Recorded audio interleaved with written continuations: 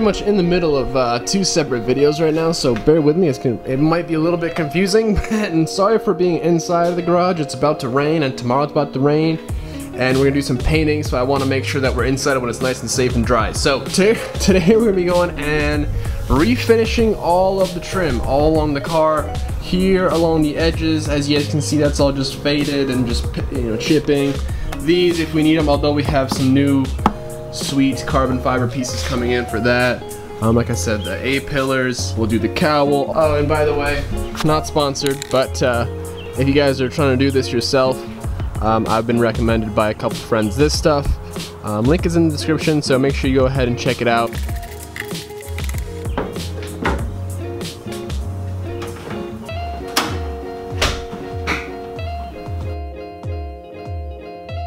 So as you guys can see, I mean, they're just really beat up and uh, just super faded. You guys can see all that, right? It just It almost looks white, or just like this gray. So we're gonna go ahead and prep these and what you wanna do to prep, at least what I was recommended and what it says online. Um, 320 grit sandpaper, clean them all up, obviously make sure they're super, super clean. And from that point on, you should be essentially good to go in and give them a, a nice spray.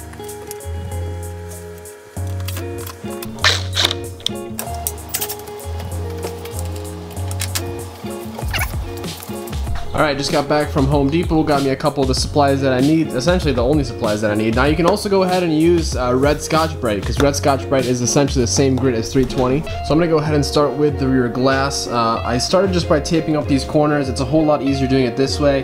Kind of dig them in the corner and then cut along the edge. That way you have that corner sealed up really, really nice and clean, as you guys can see here. The final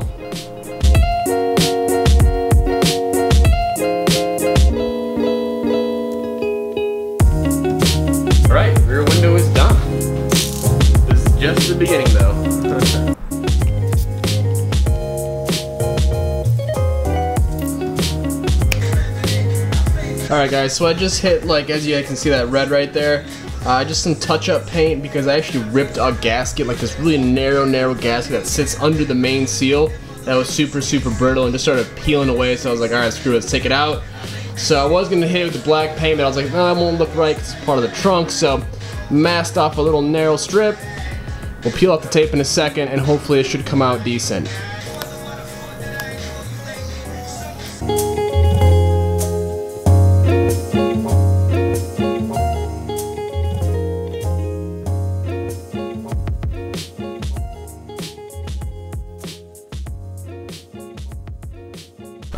So quick little progress update is now daytime obviously. I didn't want to really film too much at night because I know how kind of crappy the lighting is in here anyway. And I don't really like the lighting in here in the daytime and I don't really like how messy this place is. But like I said, we're going to get a shop here soon enough. If you guys want to help support me, support the channel, uh, go and grab a sticker. That would be super, super appreciated.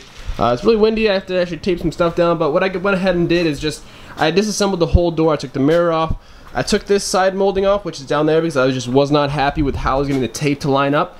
Um, and I figured it'd just be a whole lot easier. And then while doing that, look at what I discovered. So we're gonna clean that up, paint it, and uh, you know, keep that from uh, progressing, which is awesome. So we're continuing on. Hopefully I can get this done today. Sprayed, painted, dried, everything good to go. So I'm gonna continue on. Just wanted to catch you guys up, let you know what I'm up to. Let's keep it moving.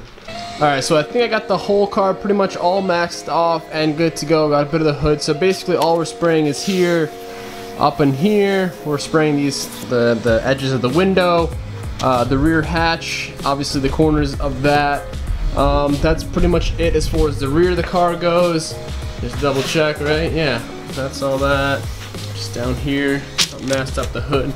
And we got a pile of trim right there. So I'm gonna, I'm first off, I'm gonna go ahead and prep and sand with some red Scotch-Brite the whole stuff here, clean it all up, uh, spray it, see how it turns out, and then we'll go ahead and prep everything over here and do the exact same thing. So this is gonna completely revamp like the whole look of the car, I can already assure you.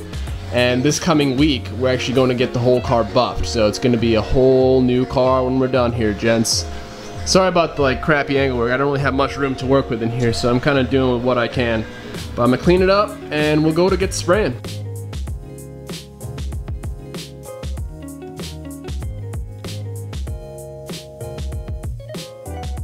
Alright, so I'm over here just sanding, you know what I mean? Getting all scuffed up. There was a couple little like bumps and divots that I kind of hit with 120 and then we went over back again. These are all fine. This is all nice and smooth.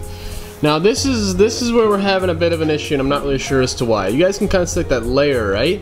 Where it hits the black meets the red. It's like this gummy stuff. I don't know why it doesn't sand off. It's good until here. And right, you can kind of see right where that black starts. That's where the issue begins. I'm not too sure what, and now I have this ledge. So now I gotta figure out what I'm gonna, this camera, is like, why, how is it so hard to focus? It's right there. Hopefully I can figure out a way to get this without going too crazy at it. I might have to toss like a, a thin layer of body filler on it, which kind of sucks, but it is what it is at this point, so yeah. Alright, so I was actually able to save it somehow, that Featherlight Touch feathered it out pretty nice. I'm gonna go ahead and give it that uh, that you know final over with the Scotch-Brite. Hopefully it turns out decent. We got J-Rad over there. his brakes are feeling real squishy, so we're gonna check his RSX out real quick. But yeah, this is. Uh, I'm just happy that we're able to avoid sending this whole thing. That that was gonna be the plan. Definitely rather not. Of course it does. Of course you you hope things go nice. Like this is an easy job. It takes time, but it's easy. And of course there's a little. It's just the way it goes.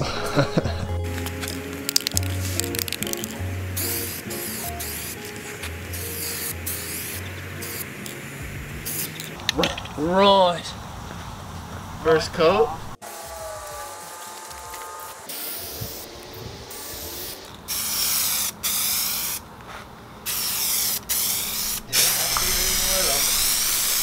Alright, bye, Dave. Order it.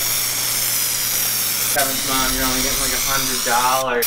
Hundred dollars. Pay the rest. He owes me. Whoa, dude. It's like yellow. It is almost 10 o'clock at night. Um, everything is painted. Have things gone smoothly? nope. Well, so you guys can see that the, the place where I sanded it and where I stopped, there's a pretty nice line. This camera has no idea what to focus on. Switching to manual. Manual override. Uh, as you guys can see, there's maybe you can't see, but there's like this hard line. Look at this. Look at this chemical reaction right here. Come on.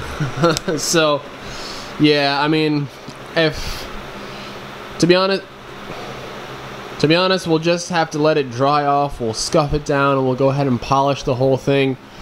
Um, I mean, yeah, I'm really not too sure what else to, to do with that. Um, and then up here, we had some weird bubbling. Uh, same thing on the other side, but quite worse. All this, the the the quarter pan, the quarter windows actually came out fantastic. I know I'm kind of showing you guys at night, and I'm sorry for that. But uh, as far as the pieces outside, I'm not. I mean, they look fine. I'll show you guys during the daytime, because right now it's currently pitch black. So see you guys in the morning. I might unmask a lot of it. So.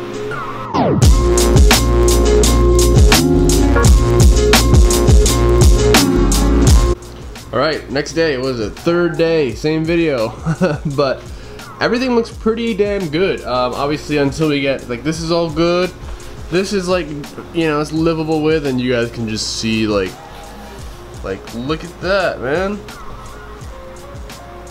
Oh dear, I'm ruining my car. it's, not, it's not good. Um, damn. Yeah, we're gonna have to figure something out for that. Um, probably just sand it clean it, redo it, you know, but I didn't really feel like doing that right now. So, still have to go ahead and fix up, oh, fix up that rust spot right there. I hate saying, oh, that's so weird I'm saying that, but that's, that's, we're, we're, I'm glad I found it. And then we're gonna go ahead and scuff off, where are they? Here's one. The old mirrors, and then we'll go ahead and give these the old ice cream as well. We might as well just to make everything match really kind of bummed out about this whole A-pillar type deal, but what are you gonna do? It's the way she goes sometimes. We'll fix it, just just bums me out it didn't go so great. We also are definitely gonna do it to the old uh, E36 because some trim that's supposed to be black is purple. So, yeah. Another video though.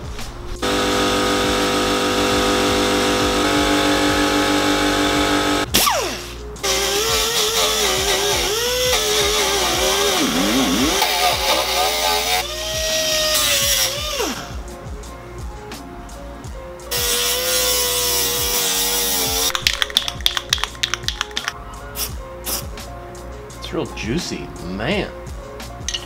So I just found like some of the same color paint as the car. Literally nothing, nothing left, but there should be enough just so I can get this little piece done. So let's let's see what we can do here.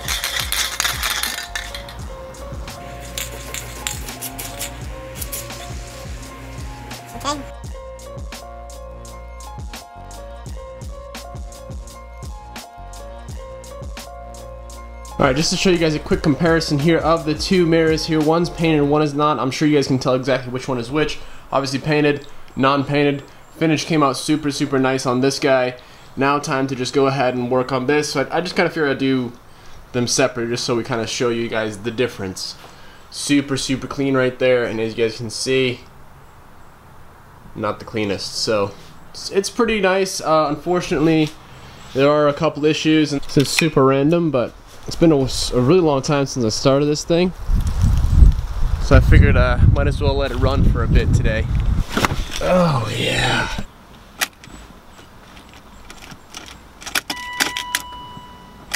It's dead. Wow. Got a little jump pack.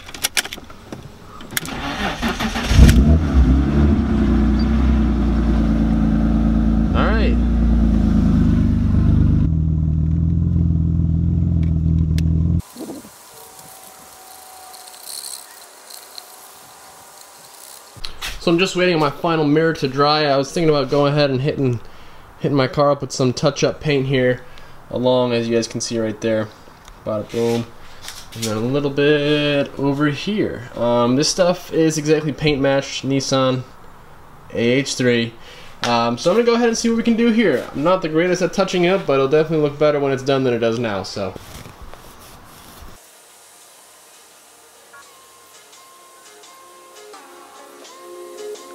I mean, not great, but not horrible, you know?